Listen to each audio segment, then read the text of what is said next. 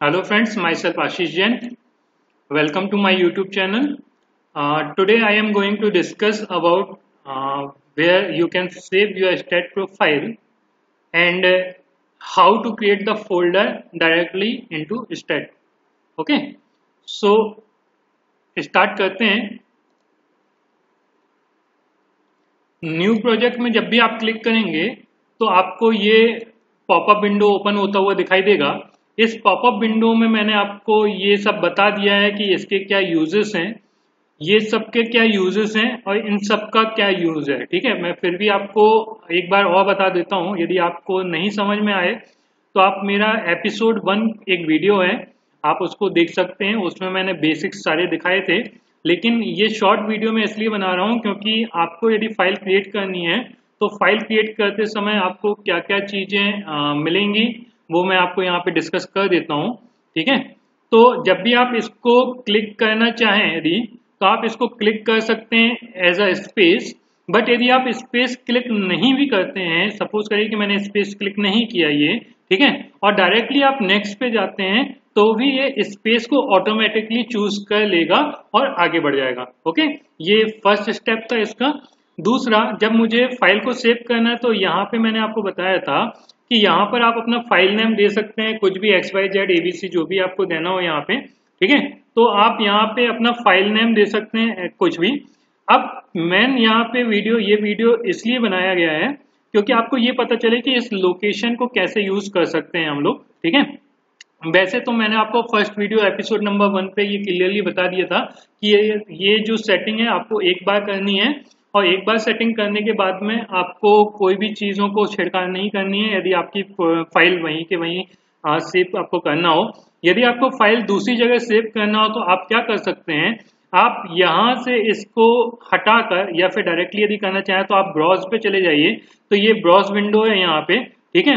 Browse window पे जाने के बाद में आप यदि अपना कोई भी फ़ाइल बनाना चाहते हैं सपोज़ करिए, जहाँ पे आपको सेव करना है, आपको उसको क्लिक करना है तो मैं यहाँ पे क्लिक कर देता हूँ। सपोज़ करिए कि मुझे ये फ़ाइल डाउनलोड में जाके सेव करनी है, ठीक है? तो डाउनलोड पे जाके सेव करूँगा, यहाँ पे ओके कर दूँगा, ठीक है? लेकिन सपोज़ करिए कि यदि ये डाउनलोड में चला गया तो यहाँ पे जब भी स्टेट प्रो की फ़ाइल बनाएँगे तो नंबर्स ऑफ़ फ़ाइल बहुत ज़्यादा क्रिएट हो जाती हैं, ठीक है? तो नंबर ऑफ़ फाइल्स ज़्यादा क्रिएट हो जाएँगी तो क्या होगा?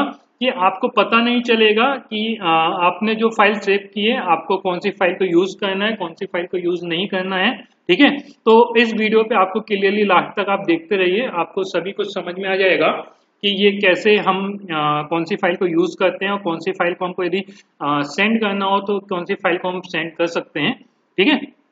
चलिए तो देखिए एक तरीका तो ये है सेव करने का कि आप ब्राउज पे जाके जो भी फोल्डर आपको जहाँ पे भी आपको सेव करना है आप उस फोल्डर को पहले क्रिएट कर लीजिए। सपोज़ करिए कि अभी यहाँ पर ऐसा कोई फोल्डर मैं यदि आपको देखना चाहूँ तो देखिए मैं यदि डेस्कटॉप पे जाऊँ तो डेस्कटॉप पे जाने के बाद में मुझे ये सारे फोल्डर्स दिखाई दे रहे हैं। एनसिस दिख रहा है माई वीडियो दिख रहा है पेंडर दिख रहा है स्टेट प्रो स्टेट रिज़ल्ट ठीक है? और स्टेट वीडियो सपोज़ करिए कि डेस्कटॉप में मुझे ये छह फोल्डर दिखाई दे रहे हैं, ठीक है? और मैं एक फोल्डर क्रिएट करके सेव करना चाहता हूँ। तो मैं क्या करना पड़ेगा? मैं यहाँ पे क्रिएट नहीं कर पाऊँगा। इस पोर्शन पे मैं क्रिएट नहीं कर पाऊँगा डायरेक्टली ठीक है? तो मुझे सबसे पहले क्या करना पड़ेगा? मुझे अपने डेस्कटॉप पे जाना पड़ेगा, ठीक है? यहाँ से मैं डेस्कटॉप पे इसको कैंसिल कर देता हूँ, पहले मैं बताता हूँ आपको। यहाँ पे मैं डेस्कटॉप पे जाऊँगा। यहाँ पर मैं क्या करूँगा? न्यू फोल्डर बनाऊँगा। और सपोज़ करिए कि मैंने यहाँ पे एक न्यू फोल्डर बनाया S T double A D state dot pro okay and इसको यहाँ पे सेव कर दिया। अब नौ यहाँ पे इसकी फ़ाइल में जाऊँगा न्यू प्रोजेक्ट पे जाऊँगा। देखिए, इसको क्लिक करेंगे स्पेस को तो भी चल जाएगा, नहीं भी करेंगे तो भी ये स्पेस ही ले लेगा, ठीक है? चलिए तो यहाँ पे क्या कर रहा हूँ? यहाँ पे स्ट्रक्चर वन की जगह पे मैं यहाँ पे फोल्डर पे नाम दे देता हूँ एक्स वाई जेड ठीक है? एक्स वाई जेड दे दिया। अब सपोज़ करिए कि मुझे उस फोल्डर पे जाके रखना है। तो क्या करूँगा? यहाँ पे ब्राउज पे जाऊँगा, मैं अपने डेस्कटॉप पे क्लिक क्लिक करूँगा और डेस्कटॉप पे क्लिक करने के बाद में मैं कौन से फोल्डर पे सेव करना चाह रहा था? स्टेट डॉट प्रो पे ओके तो ये स्टेट डॉट प्रो पे जाके ओके कर दूँगा। नौ अब मैं जो भी फ़ाइल बनाऊँगा स्टेट प्रो के अंदर जाकर, वो फ़ाइल इस लोकेशन पे सेव होगी, ठीक है? तो एक तरीका तो ये है, अब मैं यदि नेक्स्ट कर दूँ और एड बीम पे क्लिक करके फिनिश कर दूँ तो अब यहाँ पर आप जो भी काम करेंगे, ठीक है? तो यहाँ पे जो भी काम करेंगे सपोज़ करिए कि मैं यहाँ पे आ, कोई चीज़ बना लेता हूँ ठीक है? सपोज़ करिए कि मैंने यहाँ पे एक लाइन बना ली ज़ीरो नोट पे और फाइव मीटर डिस्टेंस पे एक लाइन बना ली। ये नोट दिख रहे हैं आपको? तो यहाँ पे नोट पे आप क्या करेंगे? इस दोनों नोट को सिलेक्ट करेंगे कंट्रोल ए से कर सकते हैं नोट कर्सर पे जाके और फिर बीम पे जाके इसको बीम से सिलेक्ट कर लिया ठीक है? ये सब मैं ऑलरेडी आपको एपिसोड वन में बता चुका हूँ। ठीक है? या फिर आप मेरे सारे एपिसोड जो भी बन चुके एपिसोड वन से लेके आगे तक में एपिसोड के नाम से हैं, यदि आपको समझना हो तो ठीक है? तो आप एक एक करके उन वीडियो को भी देख सकते हैं। लेकिन अभी मैं सेव करने का बता रहा हूँ कि अभी मैंने ये लाइन बनाई है, ठीक है? और इस लाइन को मैं सेव कर देता हूँ फ़िलहाल में, ठीक है? और सेव करने के बाद में मैं इसको बंद कर देता हूँ, ठीक है? अब देखिए, जब क्लोज किया तो ये स्टेट प्रो का फ़ाइल फोल्डर था। इस स्टेट प्रो के फ़ाइल फोल्डर पे, देखिए यहाँ पे कितने सारे फाइल्स जनरेट हो गई है, ठीक है? लेकिन आपको क्या करना है? इन फाइल्स का कोई यूज़ नहीं होता है, ठीक है? ये डॉट सी फ़ाइल है डॉट कट फ़ाइल है डॉट डीवीआई फ़ाइल है फिर एक्स वाई जेड नाम से एक ड्राइंग फोल्डर है, एक एक्स वाई जेड के नाम से ऑटोकैट फोल्डर बन गया, ठीक है? एक डॉट यूआईडी फ़ाइल है और एक डॉट एस के फ़ाइल है, ठीक है? हमको जो यूज़ होता है, ये देखिए, ये स्टेट प्रो का साइन आ रहा है जहाँ पे ठीक है? तो ये जो स्टेट प्रो की फ़ाइल है, इसको यूज़ करना पड़ता है। अदरवाइज़ जब आप किसी सिस्टम में आप सेव करेंगे तो हो सकता है यहाँ पे X Y Z dot S लिख दे। क्या लिख दे? डॉट एस ठीक है? तो हमको उस फ़ाइल को ओपन करना जब भी मैं इस फ़ाइल को ओपन करूँगा तो हमारे क्या होगा? वो फ़ाइल बन जाएगी, ओपन हो पाएगी, जो हमने वहाँ पर बनाया था। ठीक है? सपोज़ करिए कि मैं इसको डिलीट कर दूँ। कभी कभी ऐसा होता है, कुछ एक्सटेंशन फ़ाइल होती हैं जो डिलीट करने के बाद में हमारा प्रोजेक्ट नहीं ओपन होता है तो यहाँ पर ऐसा कोई फंडा नहीं है। यहाँ पे यदि कोई एक्सटेंशन फ़ाइल बन भी गई होगी, यदि आप उसको डिलीट कर देंगे तो आप फिर भी आप इसको एक्सेस कर लेंगे। तो मैंने अभी यहाँ पे क्या किया? डिलीट कर दिया। ओके अब नौ इस एक्स वाई जेड को ओपन करना है तो डबल क्लिक करूँगा मैं इसको। और ओपन करूँगा तो मैंने अभी एक लाइन सिंपल एक लाइन बनाई थी तो देखिए वो लाइन आपको बनती हुई दिखाई देगी। ये देखिए दिख रही है आपको फ़ाइल लाइन पे, यहाँ पे यदि मैं ज्योमेट्री पे जाऊँ तो आपको देखिए, इस तरीके की एक लाइन अभी आपने बनाई थी जो आपको दिखाई दे रही है, ठीक है? तो ये एक तरीका है सेव करने का कि आप क्या करिए, आप यहाँ पर जब भी आप अपना स्टेट को ओपन करें तो आप स्टेट को ओपन करने के बाद में क्या करें न्यू प्रोजेक्ट में जाकर यहाँ पर लोकेशन आप सेव कर लें। यदि आपको नया फोल्डर बनाना है तो आपको पहले क्या करना पड़ेगा? यहाँ पर क्रिएट करना पड़ेगा डेस्कटॉप पे और डेस्कटॉप पे क्रिएट करने के बाद में आप इसको ब्राउज करके यहाँ पे अपना एक लोकेशन डाल सकते हैं ओके ये जनरली सबको पता होता है, लेकिन मैं आपको दूसरा तरीका बता रहा हूँ कि आपको यदि वो फोल्डर क्रिएट नहीं करना है डेस्कटॉप पे जाकर और यदि आपको अपना एक नया फोल्डर बनाना है तो डायरेक्टली यहीं से, इसी पॉपअप विंडो से कैसे उस फोल्डर को क्रिएट कर सकते हैं ओके इसके लिए हमें क्या करना है? सपोज़ करिए कि अभी हमारे पास में ये फ़ाइल फोल्डर है, ठीक है? कि अभी हमने क्या किया? डेस्कटॉप में गए डेस्कटॉप में जाके हमने एक स्टेट डॉट प्रो की एक फ़ाइल बनाई है, ठीक है? अब मुझे क्या करना है? मुझे यदि एक फोल्डर बनाना है नया तो मैं क्या करूँगा? यहाँ पे सपोज़ करिए कि मैंने एक नाम दे दिया ए बी सी ओके इस एबीसी फोल्डर को बनाना और मैं चाहता हूँ कि उस एबीसी फोल्डर पे एबीसी फ़ाइल बन जाए। क्या चाह रहा हूँ मैं? कि यहाँ पर मेरे डेस्कटॉप पे एक एबीसी फोल्डर बन जाए और एबीसी फोल्डर पे मैं अपनी एबीसी फ़ाइल को जनरेट कर लूँ ओके तो क्या करना पड़ेगा मुझे? मुझे यहाँ पर यदि आपको डेस्कटॉप पे रखना है तो आपको क्या करना है? इस स्टेट प्रो को डिलीट कर देना है यहाँ से। ठीक है? ये स्टेट प्रो को मैंने यहाँ से डिलीट कर दिया। अब ये जो फ़ाइल नेम यहाँ पे मैंने बनाया, इसको मैं कॉपी कर लूँगा और यहाँ पे डेस्कटॉप के स्लैश के बाद में मैं यहाँ पर उसको पेस्ट कर दूँगा ओके ठीक है? तो ऐसा करने पे क्या होगा? डेस्कटॉप पे ऑटोमेटिकली एबीसी फोल्डर एक क्रिएट हो जाएगा और उस एबीसी फोल्डर पे इस एबीसी स्टेट की फ़ाइल जनरेट होके वहाँ पर सेव हो जाएगी। ओके तो मैं यदि यहाँ पे नेक्स्ट करूँ तो देखिए क्या पूछेगा ये? ये पूछेगा नेक्स्ट करने पे, देखिए ये नेक्स्ट करने पे ये पूछता है कि specified path does not exist मतलब ये कोई फोल्डर है ही नहीं आपका।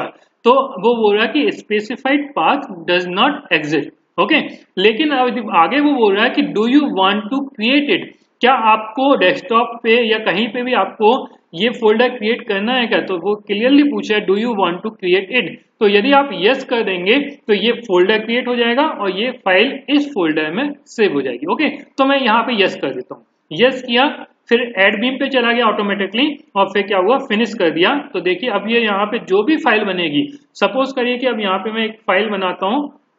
ठीक है? यहाँ पर मैंने एक फ़ाइल बनाया ज्योमेट्री पे गया। ज्योमेट्री पे जाने के बाद मैं एक फ़ाइल बनाता हूँ। देखिए, एक ज़ीरो पे बना लिया, एक फोर मीटर पे बना लिया। फिर मैं क्या कर रहा हूँ, यहाँ पे एट मीटर पे भी एक बना देता हूँ पॉइंट ठीक है? और यदि मैं वाई पे चले जाऊँ तो ये फोर फाइव मीटर पे एक वाई पे चला जाता हूँ और फिर टेन मीटर पे एक मैं वाई पे चला जाता हूँ, ठीक है? तो देखिए, एक ये नोट्स आपको दिखाई दे रहे होंगे। मैं इस पे एक बीम क्रिएट कर देता हूँ, ठीक है? इस बीम एक बीम क्रिएट कर देता हूँ। यहाँ से गया मैं, यहाँ तक चला जाता हूँ डायरेक्टली मैं। ठीक है? ये चला गया और यहाँ से गया और यहाँ तक डायरेक्टली चला जाता हूँ, ठीक है? चलिए, अब मैं इसको यहाँ पे सेव कर देता हूँ। क्लियर है? तो ये सेव हो गया यहाँ पे। देखिए सेव किया, ठीक है? अब मैं यहाँ से कट कर देता हूँ। तो देखिए यहाँ पे डेस्कटॉप पे ये एक एबीसी फोल्डर बनता हुआ दिखाई दे रहा होगा आपको। दिख रहा है आपको ये एबीसी फोल्डर अब मैं इस एबीसी फोल्डर को ओपन करूँगा तो देखिए वही सारे डॉट फाइल्स आ गई हैं, लेकिन हमारा यूज़ सिर्फ़ एबीसी का है। तो हम इस एबीसी को बचा के रखेंगे और बाकी सबको आपको डिलीट करना चाहें तो आप उसको डिलीट कर लेंगे ठीक है? क्लियर कि नहीं है? तो अब आप क्या कर सकते हैं यहाँ से? यहाँ से आप अपने फ़ाइल को क्रिएट कर सकते हैं इस तरीके से और सेव कर सकते हैं, ठीक है? तो मैंने आपको एक डायरेक्टली वे बताया है कि डायरेक्टली क्या करना है? आपको न्यू प्रोजेक्ट पे जब भी जाए तो आप जो भी फोल्डर का नाम यहाँ पे बनाना चाहें सपोज़ करिए यहाँ पे मैं अब one two three four five बना रहा हूँ। तो one two three four five को यदि आपको बनाना है तो देखिए यदि आप डेस्कटॉप पे बार बार यदि वही फोल्डर बनाते रहेंगे तो क्या होगा? डेस्कटॉप आपका फुल होता जाएगा। तो मैं क्या करूँगा?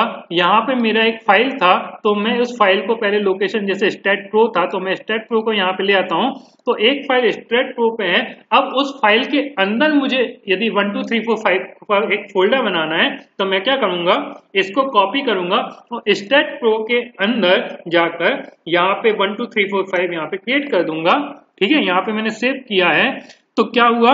अब स्टेट प्रो के फ़ाइल फोल्डर के अंदर मेरा one two three four five का एक फोल्डर क्रिएट होगा और उस फोल्डर के बाद में ये जो फ़ाइल नेम आपने दिया है, ये फ़ाइल नेम इस फोल्डर में जाकर सेव हो जाएगा, ठीक है? तो कोशिश आप लोग यही करिएगा कि जब भी आप नया प्रोजेक्ट बनाए, क्योंकि बहुत सारे प्रोजेक्ट ओवरलैप हो जाते हैं नहीं तो ठीक है? और हमारे देख ही रहे हैं आपकी इतनी सारी फाइलें जनरेट होती हैं तो क्या होता है कि कभी कभी मिक्स हो जाता है, ठीक है?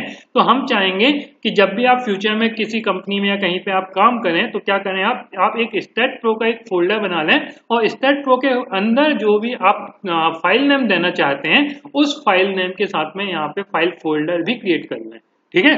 ताकि आपको ढूँढने में सर्च करने में दिक्कत ना हो, ठीक है? तो मैं इसके अंदर one two three four five डाल रहा हूँ तो देखिए नेक्स्ट किया मैंने। Do you want to create it okay yes कर दीजिए फिनिश कर दीजिए, ठीक है? तो जैसे ही मैंने फिनिश किया तो मैं अब इसको क्लोज कर रहा हूँ, इस फ़ाइल फोल्डर को, ठीक है? इसको स्टेट प्रो को क्लिक किया। अब मैं देखता हूँ कि वो फोल्डर जनरेट हुआ कि नहीं हुआ। तो ये स्टेट प्रो का फोल्डर है, इसके अंदर गया। तो देखिए one two three four five का एक फोल्डर क्रिएट हो गया। अभी मैंने कोई चीज़ बनाई भी नहीं थी, लेकिन फिर भी क्या हुआ देखिए, इतने सारे ये फाइल्स क्रिएट हो गई हैं, जबकि हमारा काम इस फ़ाइल का है तो हम इस फ़ाइल को सेव रख लेंगे। बाकी सबको क्या करेंगे डिलीट कर देंगे। ओके तो आप समझ गए होंगे कि क्या करना है हमको? तो ये हमारा फ़ाइल सेव करने का एक तरीका था कि कैसे हम अपनी फ़ाइल को सेव कर सकते हैं। दूसरा तरीका मैंने, दूसरा तरीका ये है मतलब मैं आपको दूसरी चीज़ ये बताना चाह रहा हूँ कि जब आप फ़ाइल को किसी को सेंड करना चाहते हैं तो आपको क्या करना है? आपको इस फ़ाइल को ही ओपन करना है। इस फ़ाइल को ही आपको कॉपी करना पड़ेगा। और जब भी आप किसी को सेंड करना चाहें तो ये आप अपने जीमेल से या ब्लूटूथ से आप भेजना चाहें तो आपको, जब भी आपको किसी को फ़ाइल अपनी देनी है तो आपको इस फ़ाइल को देना पड़ेगा? किस फ़ाइल को? जिसमें स्टेट का साइन आ रहा है या डॉट एस करके एक फ़ाइल आएगा नाम। ठीक है? Dot S T D X Y Z dot S T D okay clear की नहीं है आपको? तो आपको अब समझ में आ गया होगा कि हमको यही फ़ाइल को भेजना पड़ता बाकी फाइलों का कोई यूज़ नहीं होता है। दूसरा तरीका भी है फ़ाइल को यदि आपको सेंड करना हो किसी को तो एक और तरीका है वो है स्टेट एडिटर का यूज़ करते हुए ठीक है? तो जब हम स्टेट एडिटर का यूज़ करेंगे और आप, आपको फ़ाइल सेंड करना होगा तो हम आपको बताएँगे कि आपको कैसे यूज़ करना है ठीक है? चलिए थैंक यू